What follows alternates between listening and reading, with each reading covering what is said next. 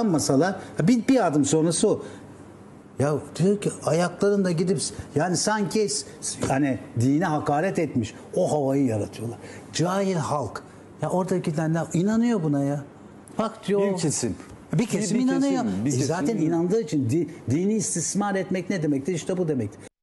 Yani utanmasalar bir, bir adım sonrası o.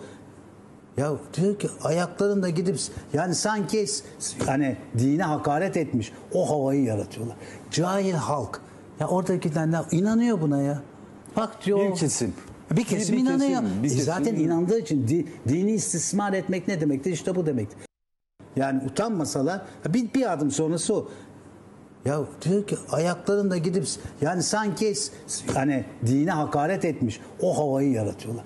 Cahil halk. Ya oradakiler inanıyor buna ya. Bak diyor. Bir kesim. Bir kesim Bir- bir inanıyor. kesim, bir E kesim zaten inandığı için di- dini istismar etmek ne demektir? İşte bu demektir. İbrahim Kahveci bir kesim diye kurtarmaya çalışıyor ama nereye kurtaracak? Nereye kurtaracak? Dini istismar etmeye çalışanlar kimler biliyor musunuz? Dini istismar etmeye çalışanlar Cumhuriyet Halk Partisi il başkanı gibi seçimi kazanmak için bunlara katlanmak zorundayız diyenler, dini istismar edenler. Dini istismar edenler, ezandan rahatsız olanlar, Kur'an'dan rahatsız olanlar, imam hatiplerden rahatsız olanlar. Ama ama işte seçim döneminde senden benden bizden hepimizden daha dindar.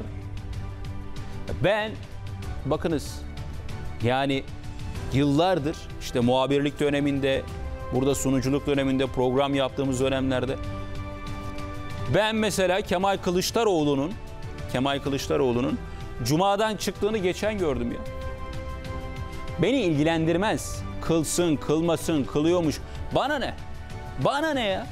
Kemal Kılıçdaroğlu. Allah Allah kendi arasında ister kılar ister kılmaz. Ama o fotoğrafı, o görüntüyü verdirme telaşıdır işte dini istismar. Çünkü ben görmedim daha önce. Kılıçdaroğlu'nu takip ettik İstanbul programlarında. Ben görmedim. Ama seçim dönemine yaklaşınca Muharrem İnce ile görüşmeye gittiğinde çaylar kahveler öyle ya Şaban Sevinç dedi ya çaylar kahveler içilmiş efendim e, kurabiyeler hatta kuru pastalar ikram edilmiş.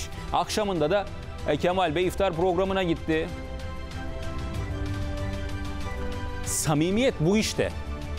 Dini kullanma bu işte.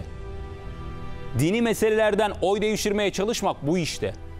Oraya gelen Erdoğan sevgisiyle, Cumhur İttifakı sevgisiyle, AK Parti sevgisiyle adına ne derseniz oraya gelen insanlara cahil. Bu millet 21 yıl boyunca bunu diyenlere tokatı öyle bir ağır bastı ki, öyle bir ağır tokat bastı ki. Şimdi bu sözlerle birlikte 14 Mayıs'a gidiyorsunuz. Bakalım son ne olacak? Daha fazla video izlemek için kanalımıza abone olabilir, ilk izleyen olmak isterseniz bildirimleri açabilirsiniz.